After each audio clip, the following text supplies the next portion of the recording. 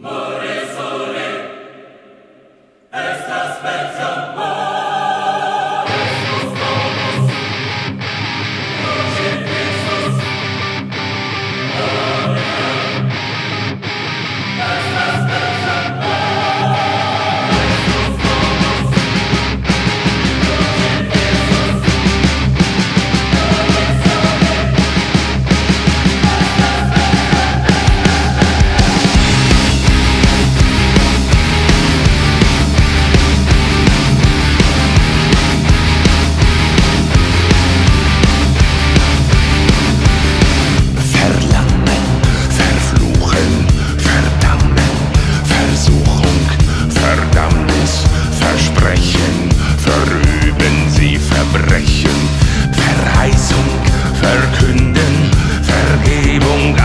Sünden verbreiten und